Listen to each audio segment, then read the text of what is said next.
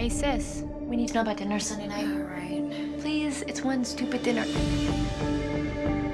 Okay, I'll do it. I'll go to dinner with you guys. Yay! Wake me up when you get home, okay? All right, sweet dreams. Molly? Rise and shine. Oh my god. Molly! Miss Conway, what makes you think your sister's been abducted? This guy came back for me. He broke into my house, took my sister because I wasn't there. Why would he come back for you? I'm the only one that got away because I know his secret. Last year, a hiker spots Jill covered in mud, screaming about how some guy snatched her out of bed, threw her down a hole out in the woods someplace.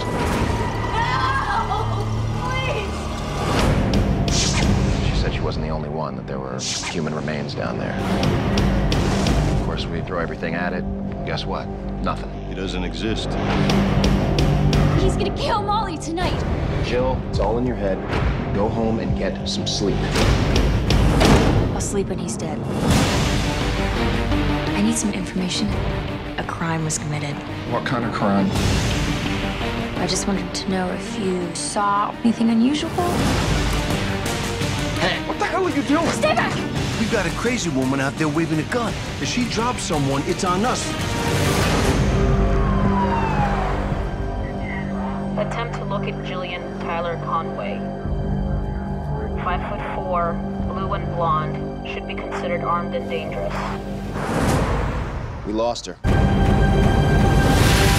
It's gonna get dark soon, and Molly is gonna be dead, buried at the bottom of some hole, along with all these other girls that nobody is looking for.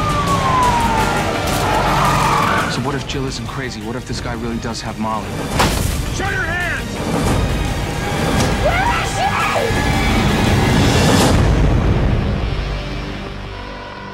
Who's this? You know who I am. And I know who you